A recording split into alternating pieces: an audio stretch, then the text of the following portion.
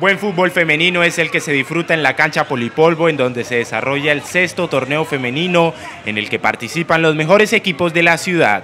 Estamos empezando el torneo, contamos con la participación de 18 equipos de aquí de Barranca Bermeja.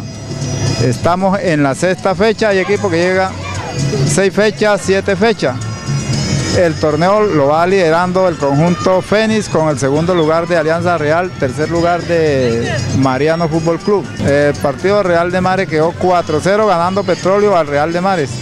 Bueno, estamos invitando a toda la comunidad de la Comuna 7 y especial de Barranca Bermeja a, que se hagan presentes aquí en la Comuna 7, en la cancha Polipolvo, para que miren el espectáculo del fútbol femenino. Uno de los encuentros con el que se disputó una nueva fecha de este torneo fue el duelo entre Real de Mares y Petroleum, este último llevándose los tres puntos. Pues creo que muy bien, tuvimos un partido muy colectivo, se vio mejor disposición del equipo creo que estuvo muy bien.